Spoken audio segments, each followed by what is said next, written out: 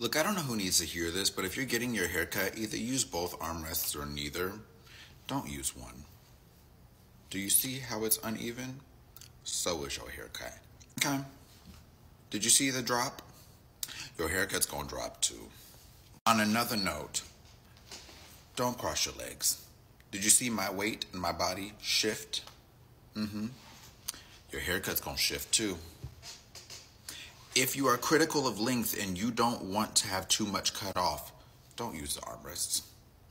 Because if you tell me you want it shoulder length and your arm's on the armrests, you just went an inch shorter, an inch longer. Please be mindful of these things, especially if you're critical of length, because you'll be over here upset thinking it's the stylist when really underneath that cape, your body was like this.